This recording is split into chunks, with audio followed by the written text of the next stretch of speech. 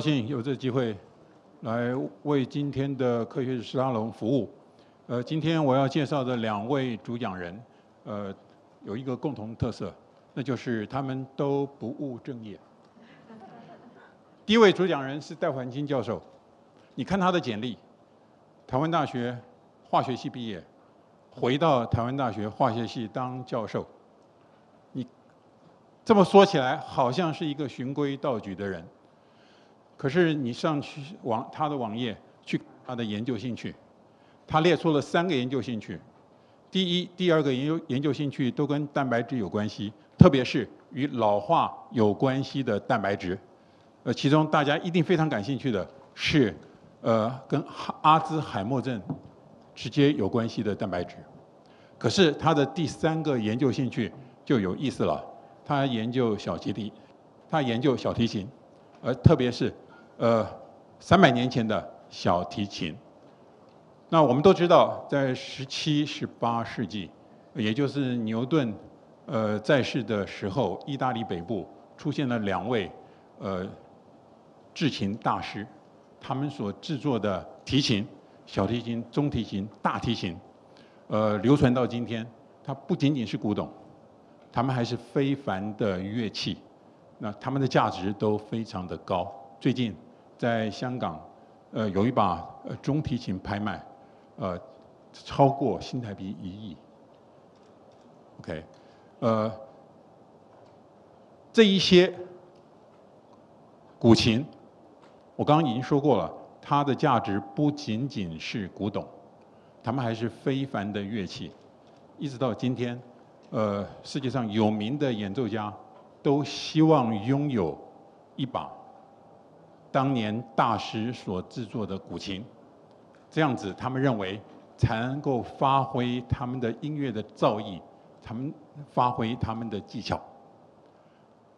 那大师之后，过去三百年中，一直到今天，呃，制琴制琴师一直在研究那一些古琴，希望能够找出那一些古琴的制作奥秘。那我们今天的主讲人戴教授就是其中之一，他最近。发表了一篇论文，呃，就是讨论古琴制作的奥秘。呃，这篇论文发表在呃美国国家科学院学报。上个礼拜二，美国纽约时报呃还报道了呃这一篇论文。今天我们很高兴能够请的戴教授亲自跟我们解说他的最新的发现。大家请以热烈的掌声欢迎戴教授。感谢个王老师的介绍，感谢今天有这么多呃这个朋友啊，然后各各位，然后还有还有我们西藏一些老师，然后大家一起来来跟我就来听我这个演讲。其实我们今天就是要来跟大家讲讲就是小提琴的故事啊。我这边摆一个小提琴的模型啊，缩小版，啊就是一个，所以我们我们来讲，所以我们今天我定的题目就是我们来讲这个三百年前有这个民琴的秘密。那刚才王老师都已经帮我们介绍。他这个这些民琴是这个演奏家最喜欢使用的。我们讲到小提琴，就一定要讲到一个小镇，它在意大利，它叫 Cremona，它在意大利北部。我把它标示出来，它是小提琴的诞生地。大概在五百年，快要五百年前，有一个人叫 Andrea Amati，他就在这个小镇发明了现代的小提琴。它基本上长得跟我们这个现代小提琴模型几乎是一模一样。呃，改变呢其实很少，只是稍微改一点点而已。所以他基本上他也不知道为什么就突然发明了现代小提琴，也没有人知道之前长什么样子。他一个人就给他做出来了。所以这一张投影片就是看到 Cremona 有三大制琴家族。那第一个当然就是 Amati 家族，这个 Andrea Amati 他发明了小提琴。那传到他孙子的时候，因为那时候有黑死病、鼠疫，所以很多人就。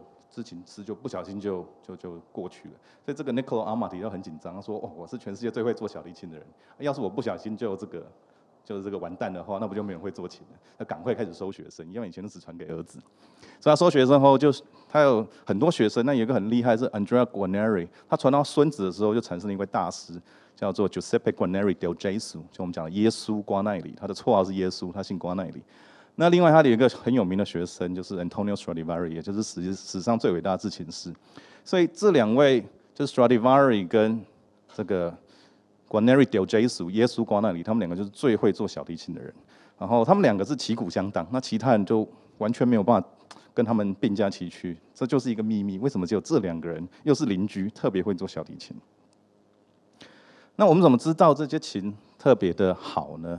其实这两百年来的演奏大师都已经告诉我们，因为这些演奏大师又接触各种小提琴。假如问他一生他最爱的小提琴，你像问帕格尼尼啊，或是海菲兹，或是 Perlman。他们一生中最爱的小提琴是什么呢？他们不是告诉你是某一把 Stradivari，就会告诉你是某某一把 Guarneri del j e s u。那几乎不会有第三个答案出现。所以两百年来，这些大师他们的耳朵都比我们厉害很多，因为他们听的那个非常细微啊，他们都听出来都是每个人都是一样的结论，所以我们就当然是接受这个为真这样子。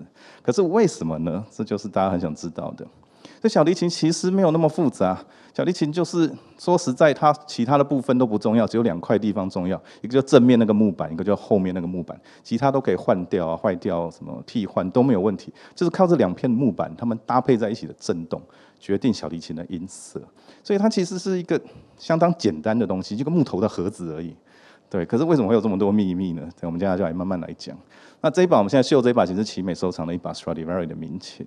那我们就不要讲它的市场价值，因为现在实在是有点夸张这些市场价值。对，但是我想说的是，在一百年前，当这些价格还没有因为这些市场因素上来的时候，当这些顶尖的小提琴家都还买得起这些 Stradivari 的时候，其实那时候大家就非常重视这些琴。在差不多一百年前的时候，伦敦有一个琴商。Hill 家族，他们经营了三四代的小提琴的生意，他们统计出全世界大概有五百把，呃，Stradivari 的小提琴，啊，全世界几乎都被他们统计完了。可是我们知道那时候这些小提琴还没有到美国，还没有到亚洲来，都还在欧洲。可是你想，一九零零年后来，一九一四年，然后一九三九年发生两次世界大战，这些琴都在欧洲打得满目疮痍这样子。所以到底有多少把？这些民琴，Stradivari 民琴毁于这两次世界大战呢？我这边就来问，请大家猜一下这样子。所以我们列了五个答案：第一个是这五百把一把都没有打坏；第二个是只打坏一把；第三个打坏十把，还是打坏三十把，还是打坏一百把？我们来做个调查，觉得没有打坏的朋友请举手哦，有一些。那打坏一把的朋友，那打坏十把的朋友，那三十把的朋友。那一百把的朋友，OK，那我们来揭晓答案。只有一把被打坏，为什么会这样？我也不知道。但是我们根据历史资料，只有一把是在这个柏林空袭，这是柏林空袭的照片。它刚好在一个富商家里被炸弹炸到，所以这把就消失了。但是我后来又辗转发现，原来这把琴没有完全消失，因为它当年有一个琴颈。琴颈就是我们小提琴握把手握的地方，因为巴洛克琴颈跟现在角度不一样，所以被换下来。所以它一百多年前，它的琴颈已经先换下来了。所以后来这把琴炸毁之后，它原来的情景还在，然后辗转流落到奇美博物馆，就是我手上拿的这一块。是，所以我都会开玩笑说，这个民琴已经火化了，可是还剩一块，那就叫民琴舍利子。那这个。这个有什么用呢？它没有任何市场价值，它就是一个纪念品。但是奇美就很，就是他们非常奇美博物馆非常慷慨捐赠给我，我们就可以从里头取样来分析它木材的性质。因为这一块是没有人碰过的，而且很大一块，我们可以慢慢去取样。所以你在世界上找不到这么多民琴木材的样本。所以我说这个民琴虽然已经炸毁，只有一把炸毁，它还是对人类非常有贡献。这一次我们能上《纽约时报》也是就有靠它的贡献这样子。所以民琴到底有什么样的声音魔力？这个声音其实很难用文字叙述了。当然，我们今天也没有办法表演给大家听那样子。但是根据大家的这的感觉讲法，他们会说，Stradivari 跟这个 g u a n e r i 的琴，他们都有高音跟低音都很厉害。但是你要硬要把这两个去区分的话，Stradivari 它是高音的地方比较厉害，它很甜美、很明亮这样子。那 Guarneri 它是低音的地方特别厉害，特别有力，特别深沉，这是大家的感觉，这是它的音色部分。但是它还有一个另外，这些民琴界讲了两百年，就是说他们的投射能力很强。他的意思就是说，假设今天有一个很大的音乐厅，那你坐在比较中间甚至后面的地方，然后台上有管弦乐团很多小提琴，但是他们听起来就是一般的小提琴，只有这个独奏家手上这个民琴。它的投射能力特别强，它可以让你坐很远，它不是大声，但你听得特别清楚，又觉得它离你特别近，他们说这叫投射能力。这个我问过很多物理学家，都没有人有解释这样子。大家对这个投射能力也不知道怎么研究，所以它是一个谜。但是两百年来大家都这么说。那有时候我们去听音乐会也可以感受到这个。有很多人会说，那我们有没有现在今天是一个科学的讲座，我们有没有科学证据说民琴比较好听？啊，这真是一个非常复杂的问题。等一下我们要稍微讨论一下。但是实际上是还没有。对，但是这其实也不是什么大问题。就是说，我我举两个例子，就是说大家都知道 Pavarotti 是三大男高音，他很会唱歌剧。那我们有没有科学证据证明说 Pavarotti 比较会唱歌，比其他唱歌剧的男高音会唱歌？也没有嘛，因为第一个我们就是没有经费来做这种研究。第二个大家听了就知道 Pavarotti 很厉害，你去研究干嘛？那同样呢，我们听爵士乐的话，那 Billie Holiday、Ella Fitzgerald 他们很会唱爵士。我们有没有科学证据说 Billie Holiday 比较会唱爵士？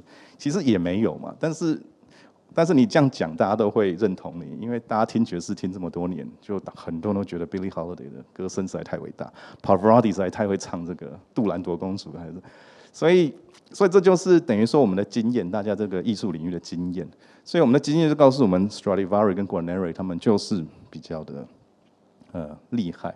那有人说，哎，那我们现在葡萄酒都有做盲测啊，咖啡也有做杯测啊，那我们不来？民情做个盲测，所以其实大家都都做过这些，私底下做了几十场。那后来最近有两做两次是有发表出来，也是在美国国家科学院看，然后他们的结果都是 negative，就说找不到民情跟现代这些好的小提琴的差异。我们不是说拿那个很便宜的学生小提琴，我们拿现代做的很好的琴跟这些意大利最厉害的民琴来比，大家都说找不到差异，是为什么呢？这边我可以解释一下。我们先想象一个一个实验啊，thought experiment，那个我们用想象这样一个实验，就是说，假设我今天有两个电脑荧幕，他们秀投影一张图，我把颜色调稍微不一样一点点，然后放在那边给你看，或者说颜色一不一样。假设你放在旁边的话，你就会很快左看右看，你就说，诶，这个偏黄一点，就是这个可能绿一点这样子。但是假设它们颜色真的很相近，然后我们是先给你看一个荧幕，过一分钟再叫你看下一个荧幕，你就会发觉你很难知道它们颜色到底不一样。为什么呢？因为当你一起呈现的时候，你可以左右马上比较，但是你因但是你交替呈现的话，你要先把它记起来，你要记得第一个荧幕是什么样子的颜色，再比较第二个。可是我们的记忆，这是用你短期记忆。但是心理学家研究出来，你的视觉上短期记忆是非常短的，才零点二个 millisecond，零点二个微秒。所以你不是很快速动眼，那边左看右看，你根本就，它就一下就衰退了。那听觉的记忆比较长一点，大概有两秒到十秒，对你对音色的记忆。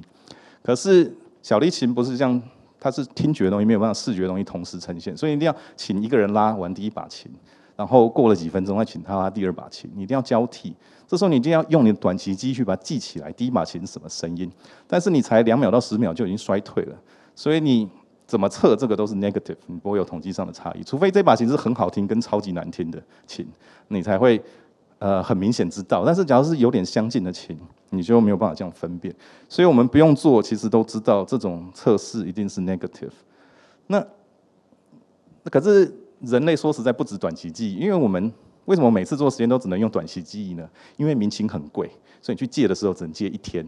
那我们科学要得到统计意义，那个样本数要够大，就要找大家来赶快测，赶快测，赶快收那个 n n 值，就样本数要够大。那民情又只能借一天，所以每周只能做这种很短的记忆测试，都逼你用短期记忆。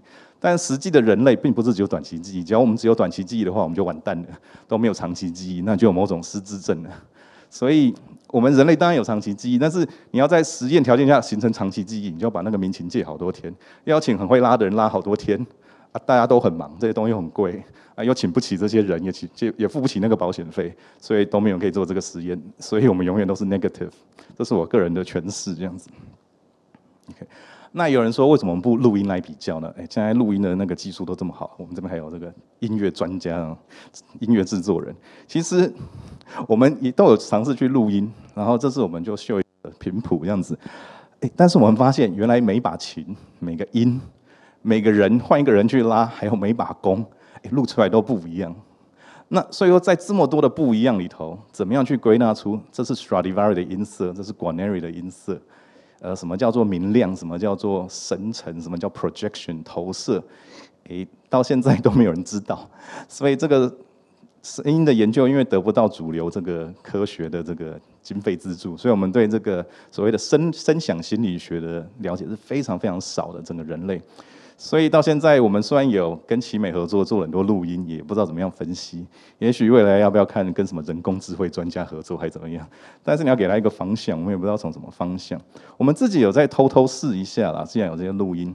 其实我发表过很小的论文，跟奇美合作，我们把它用跟人声、人的声音做一个比较，就是我们人的声音其实会因为我们的声道的共鸣，会产生像共振风一样的东西。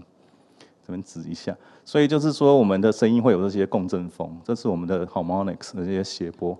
会有这些共振风，那小提琴其实有类似的共振风，其实跟人的声音有些相似。那我们就把一些语音分析软体套用到它身到小提琴身上，那我们就发现它共振风 Stradivari 共振风都偏高了一点。那我们最近实验室有些最新的 data，但还还很初步啦。我们就发现你拉每一个不同的音，Stradivari 的琴是蓝色这条曲线，它就比在某些音高，它就会比这个其他的我们其他九把是也都是意大利的民琴。但是不是 Stradivari 都是三百年的平均，所以也都是很有名人做的。但是 Stradivari 好像又比他们特别，在某些音听起来又不一样。所以这到底有什么意义？那这个对我们人耳听起来有什么感觉？其实我们还不知道。只是我们目前有些测量数据是说，哎，真的有些不一样。但是你很难去解释，对人来讲这到底的意义是什么？啊，讨论完声音的这个简单的讨论声音以后，我们来直接来讲讲看，这些制琴大师到底有什么秘密？这个是大家最想知道的。因为就算我们知道声音很好，可以证明，我们还是要知道他怎么做到的。这个是大家都想知道的。所以其实小提琴就像我讲，没有那么复杂。它的正面就是这个木头，就叫做云杉。然后这个云杉，也就是，最近圣诞节，嗯，就是前几天圣诞节，大家知道纽约洛克菲勒中心有一个很高的圣诞树，那个树就是云杉，就是这个 Norway spruce。然后就是用来做小提琴的这个，这个云杉在欧洲到处都有长，看尤其北面那个俄罗斯啊、北欧，但是它最南面只能生长在阿尔卑斯山上面，因为它怕热。可是很巧的就是，我们把全欧洲的云杉都拿来做小提琴，只有阿尔卑斯山南面山坡上的特别适合做小提琴，刚好 Cremona 就在这个附近，那这可能也是一个历史巧合吧。那它的背面的话，可以用很多不同的几种不同的枫木，那这些枫木到处都有长。那 Stradivari 它有时候比较贵的琴，它就会买巴尔干半岛进口的这个枫木，它有这个虎背纹很漂亮，但是不是特别漂亮就特别好听。它可以用没有纹路的枫木，也可以做出来很厉害的、很厉害的小提琴。所以这些树都还有，所以大家不要担心什么森林被砍完啊，什么树绝种啊，这些都还有，都买得到这些同等级的木材。所以这两百年来，从来没有听过欧洲制琴师在抱怨说我买不到木材，所以做不出 Stradivari 的小提琴。所以不是说树没有的问题。那有人就觉得啊，是不是它的形状很特别啊？它的弧度、它的厚度很神奇。其实就就算在一百年前，我们用一些简单的工具就可以测量它整个厚度、跟弧度、跟形状，几何作图什么。Stradivari 它的那个纸板的式样，它的工具其实还有保留下来，就是他工作室的一些物品有保留下来。现在在意大利 Cremona 的这个小提琴博物馆，所以其实它的内膜，它用的内膜我们都有，所以它的制作过程也没有什么秘密。而且现在何况有电脑断层扫描，那个三 D 的构造清清楚楚，所以其实大家早就照那个形状跟厚度去做，然后再做很多微调，就几百个、几千个人都去做，每个人做几十年，就是。By trial and error，尝试错误也就应该做出不小心做出很多琴跟它有同样的效果，可是没有，所以大家想说那一定还有别的秘密。OK，我们木头也拿来了，形状也都照它做了，怎么还没有达到同样效果？那 Stradivari 的琴它有一个很特殊的地方，就是它原本的涂漆涂在这个枫木表面，它那个反射的条纹就特别漂亮。这个效果很神奇，就是制琴界朋友跟我讲，他们两百年来大家都试各种涂漆秘方，怎么涂都涂不出同样的效果。他们觉得很奇怪，怎么可能有人可以到底涂什么东西，怎么跟我们看起来都不一样？我个人的感觉，从科学角度来想，它可能是涂下去以后，经过时间，它那个它那些涂漆的材料发生变质。就是它折射率改变之类的，那个可能要一两百年才会呈现。所以现在怎么努力去淘拿同样的树脂啊、油啊去涂，都涂不出那个效果，因为它是一个老化的结果。但是大家就一直在研究它的涂漆。那最近终于有些欧洲的朋友有两个研究团队，他们做了蛮详细的分析。那他们看到结果是蛮令人失望的。他们觉得好像就是第一层我画红红的那个，就有点像油画，意大利嘛就很会画油画。第二层就是没有加颜料，还是油画，没有加颜料，没有颜色。第三层在木头里头有一个保护漆，也不太清楚它是什么，但是好像也没有觉得特别厉害。所以他们觉得这些涂漆的方法就是这样子，大家涂了几百年，也没有让自己的小提琴突然变 Stradivari 的声音，所以好像也不是涂漆。那还有什么呢？还有人说啊，他们就是天才嘛，天才就是做小提做完就一定要微调。他们就说，那我们来微调一下。那那他们就是天才，他们微调出来就是比你厉害，那你永远就学不起不来。这也是有可能啊。不过我们真正把民琴打开来看，其实木头放久了，热胀冷缩，吸水，呃，变干变湿，它是会裂掉的。所以我们时常就会裂掉以后，就要去修补，就要把原来木头挖掉。也因此，我们可以得到一些木材的研究材料。然后你要贴新的木头进去，所以这是一把好几百年的名。那我们不要说它是哪一把，因为这是商业秘密，这样子。就是我们是琴的主人不希望大家知道他的琴是这样子嘛。但是我们把它打开来看，你看修补的那个情况。所以说，两百年前、三百三百年，Stradivari 微调的很完美啊。可是琴就是要修啊，没有一把琴民琴没有修的，修多跟修少，那都修成这样了。那还可以，它微调东西还会存在吗？不可能嘛！所以，所以大家就很奇怪，那到底怎么做到的呢？那有一种就是说啊，是不是老了就自然就变厉害了？那其实同时候不是只有 Cremona 人在制琴，其实威尼斯、拿坡里、英国、法国、嗯、奥地利都有在制琴。那很多老琴其实也没有什么特别厉害，就是威尼斯啊、Cremona 这特别厉害，尤其 Cremona 还有旁边 Brescia，所以，所以说。老是会改变，放久了会改变小提琴的声音，这是小提琴界大家确知的，就是都相信的。但是大家当年一定做出来就很特别，就跟我们现在做出来其实就不一样。那放久以后，它有它有老的味道出现啊，但是不知只是靠老化这个因素。那还有一个就是大家希望说他有写个什么秘密啊，写在书里头啊，或者是某个人呢朋友把它写下来，所以他们去意大利挖各种历史文件，连他的什么人口普查啊，什么全部都挖出来，他的遗嘱啊，然后这是他亲自写的信，写给客户。不过大家要想，那个时代他们这些工匠是十一岁就去老师那边开始做手工，根本没去上学，所以他拼字都拼不太对，他那个字都乱拼，他根本就是半文盲。那更不会把什么秘密写下来告诉你了。以前都只传给儿子，不传给徒弟了，何况还跟写秘密告诉你。所以大家挖了很多历史文件，我们已经搞两百年了，这个历史文件都没有找到任何有用的东西，包括土漆的配方。所以大家真的是上山下海，这个什么都想了，还是找不出来秘密在哪里。终于在差不多三十年前，有一位美国的化学教授，生化教授叫 Joseph Najvari，呃，他提出一个理论说，哎。会不会这些木材其实有经过化学处理？现在去看，你就觉得，哎，这个木材就是木材啊，这个就是云杉，这就是枫木啊。会不会他当年有经过化学处理？所以差不在十几年前，他终于拿到一些木屑，然后来做化学分析。他提出了一些观察，他看到一些数据，就显现说好像是有经过这些化学处理。然后他认为这些化学处理让这个木材有一些分解的现象。可是制琴界那时候并不太认同这样的一个说法，因为他们去敲这个 Stradivari 的琴，他们敲的感觉觉得这个木头变硬了，并不是变分解变软了，他们觉得是变硬了。那你怎么解释呢？所以他那个论文发表出来也是上很有名的期刊，很多媒体报道。可是制琴界不太不太能接受他的理论。那到后来这中间也都没有人来研究，因为很难取得这些墓穴。那最近我就。透过他，透过欧洲的朋友，透过各国朋友，还有奇美博物馆，我们就收了，终于收到一些民情的墓穴，可以来分析，这样做化学分析。那我们第一个想看的就是说里头的化学元素，因为假如他真的用什么化学药品炼金术的方法去处理的话，应该元素会有改变。所以我们第一个要做就是叫元素化学元素分析。那我们的方法就是把这木材溶解掉，然后。放到一个电浆火焰，让它全部原子化，就变成元素。那我们再用一个质谱仪去分析，就可以知道有什么元素。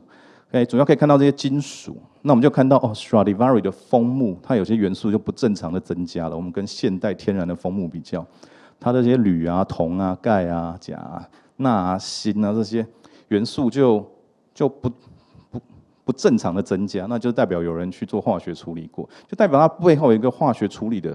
或者木材处理的流程，我们以前都不知道。现在我们去做是把这个木材下来以后，然后就直接让它风干，然后就拿来做。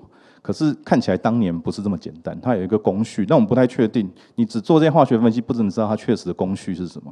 就像我拿可口可乐来分析，我们分析化学再厉害，我也不可能知道它的配方还要怎么把它煮出来。我知道的话，我就去分析可口可乐，然后卖给百事可乐，那我就变亿万富翁了。所以，我们化学家真的没那么厉害。我们可以告诉你一些蛛丝马迹，对不对？而且民情的样品是有限，那可口可乐是无限的。假如我分析化学都可以搞定的话，那我现在已经。已经亿万富翁，不用跟大家讲股了，这样子。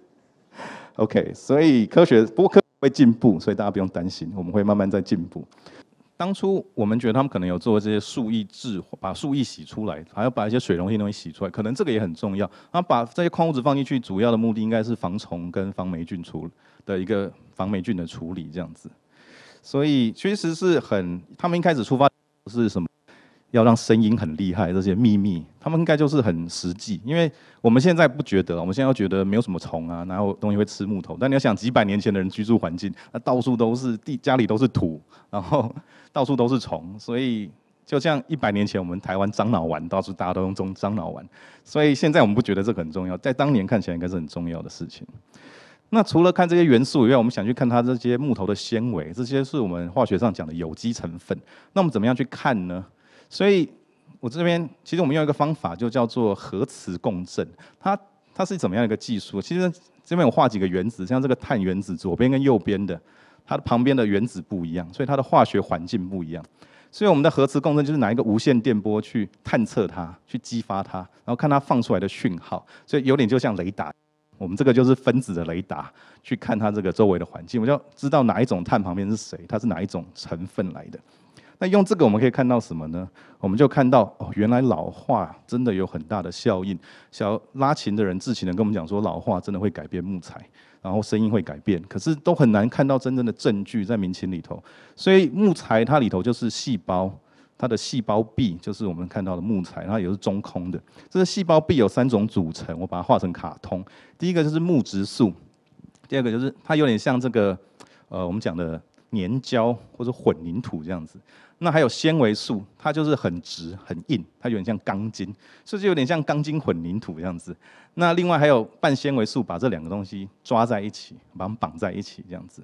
所以我们的经过这个核磁共振的研究，我们发现哦，原来这半纤维素随着时间会慢慢分解。以前大家在建筑的木材有看到这些东西，像日本那些神社的那些块木的柱子，他们有去取样。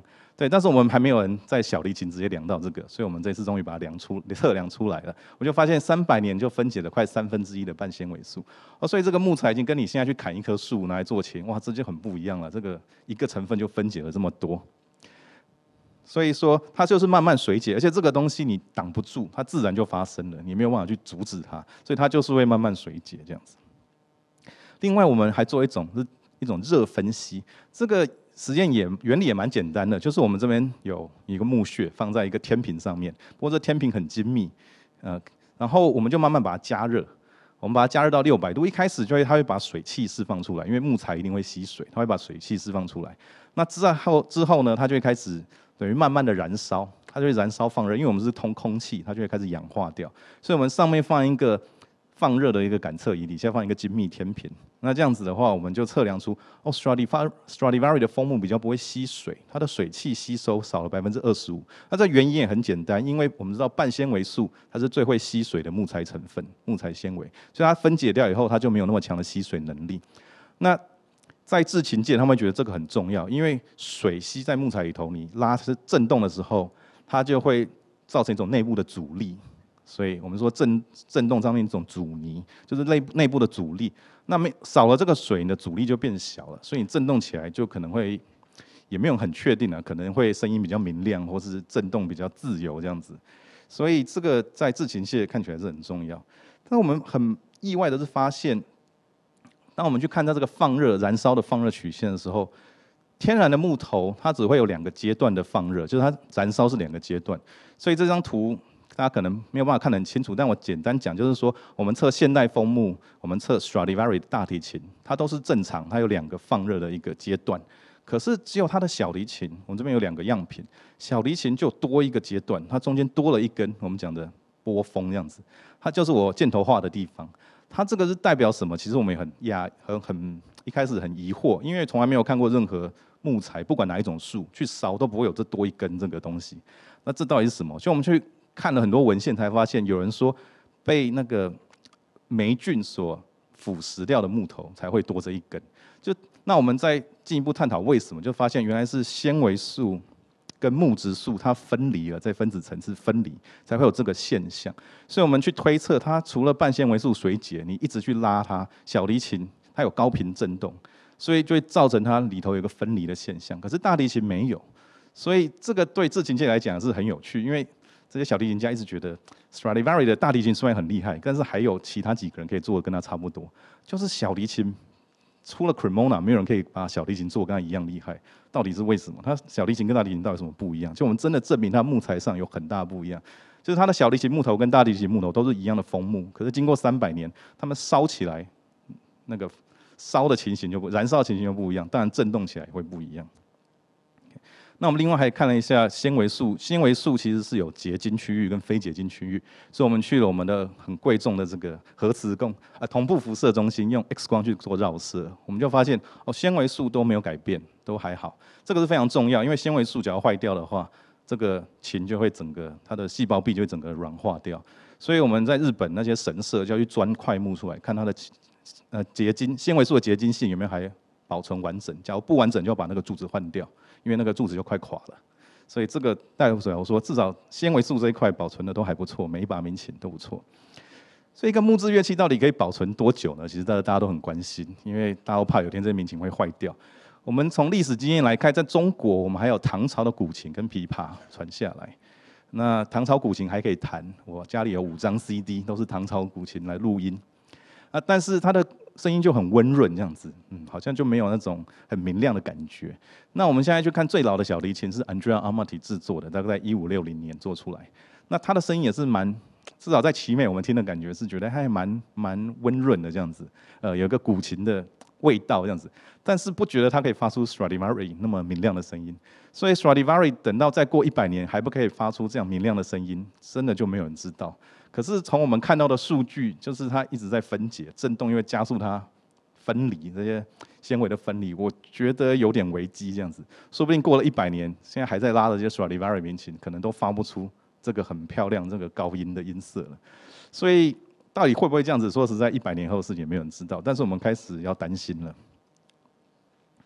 所以从现代制琴师的一个角度来看的话，我们这个研究有什么意义呢？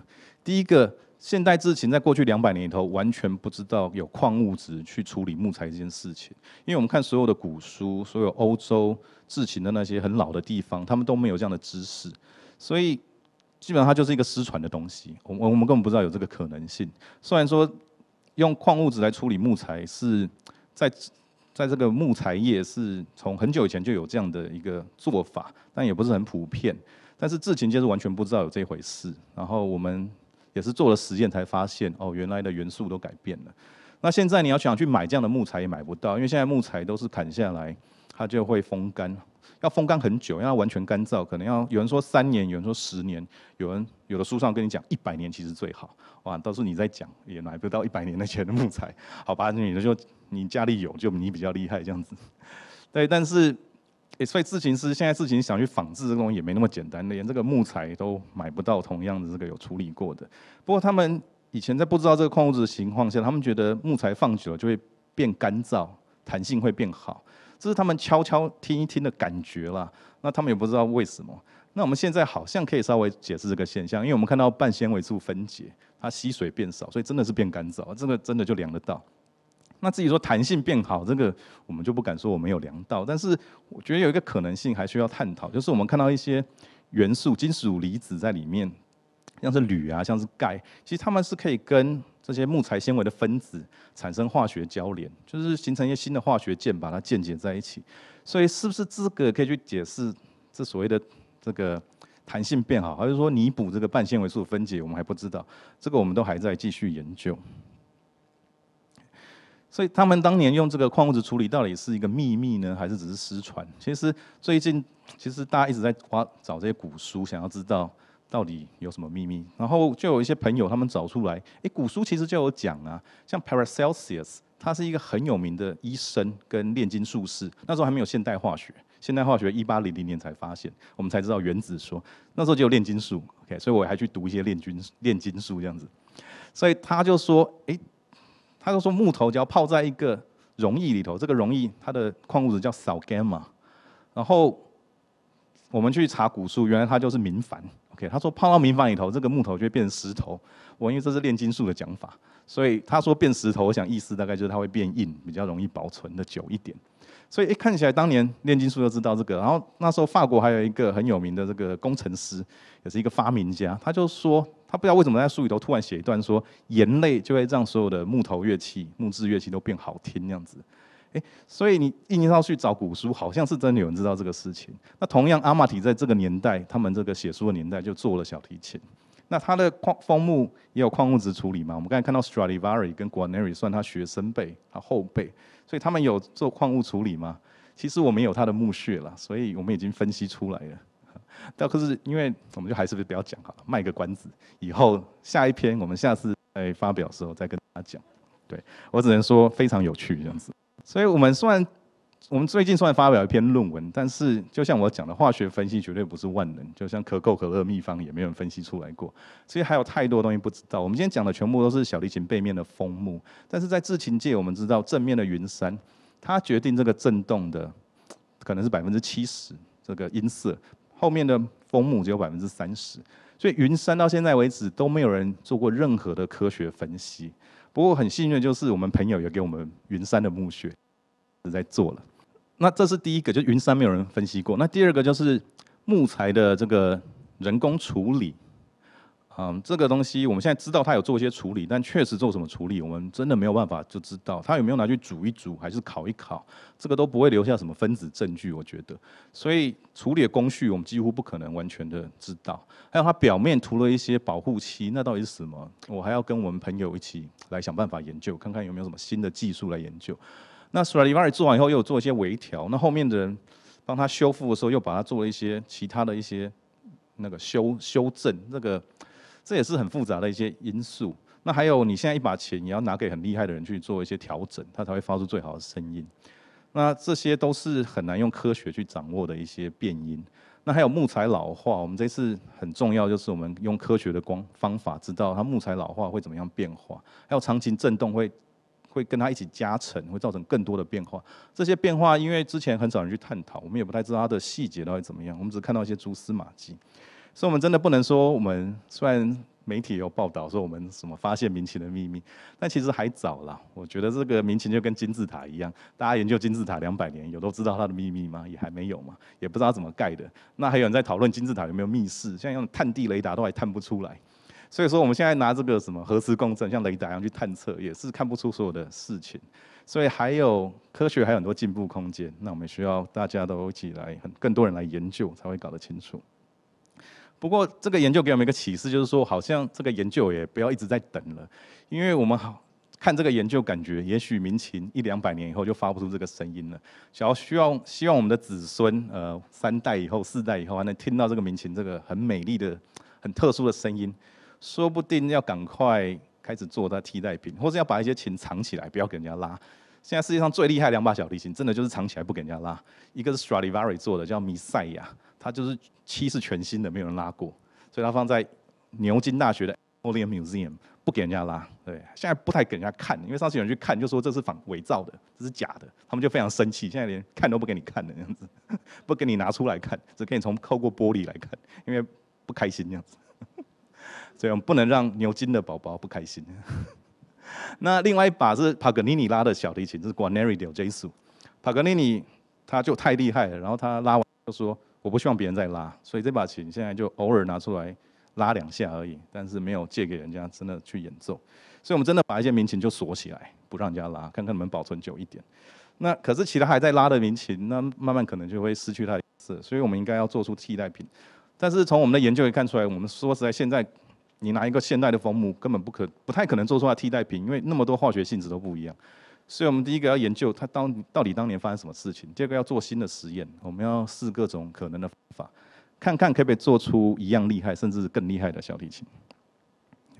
所以 Stradivari 他特殊的音色，我们最后做一个总结，他个人天分很很重要，他绝对是一个天才。为什么呢？因为他的儿子、他的老师、他的邻居就是没有他那么厉害，所以这两个人，他跟 Guarneri del Gesù 真的是天才。OK，这个是绝对毫无疑问。所以你就算有所有的知识跟材料，你没有他的天分，啊，你也是做不出来。但是后来还是很多有天分的制琴师，包括现代都还有。所以我觉得这方面。不是只有他可以做到，可是他还有继承 Cremona 两那时候发明小提琴以后的一些知识跟材料，特殊材料。这个部分是我们可以慢慢用研究想办法把它发掘出来，然后再去做一个实验。可是还有一个很重要的因素是最底下的老化跟震动。这个也有人想说，那我们把木头去烤一烤啊，加速老化，或者拿振动器去震动这些木头。不根据制琴界他们做的这多年来做一些实验，这个好像不是很成功。这些方法他们会说。去烤的木头实际上很很快就坏掉，做出小提琴前二十年很好听，然后突然就裂掉就坏掉了。那震动也有人说，人跟拉跟他们震动，去机器震动震出来感觉就是不一样。所以到底可不可以去加速这个？诶，这个老化这一块跟震动这一块也没有人知道。当然很多人是希望可以，要不然我们现在做一个琴，就算请 Stradivari 回来做一个小提琴，可能要过五十年、一百年，它会呈现这个最漂亮的这个音色。那我们都觉得啊，那。那我都看不到了，那等不了了，所以是不是可以加速，也没有人知道。OK，那我们最后要感谢非常非常多的人帮助我们做这个研究。第一个要当然是我们实验室的研究生，他们实际上去做了很多实验。那我们一定要感谢奇美博物馆的呃钟代廷先生，然后还有整个博奇美基金会给我们很多支持，包括给我们样品，还有他们多年在台湾推广这个民情的这些文化的推广，然后。所以我们在台湾也很容易找到各个老师、各个实验室来帮助我们一起来研究这个东西。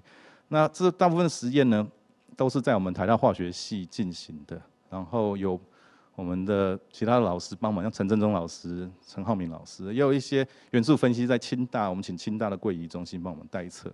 样品提供有很多国外的朋友，主要是我们一个共同作者 Bridget Brandmeier，还有那个最早提出民琴的木材要研究的 Joseph Najvari 教授，现代的。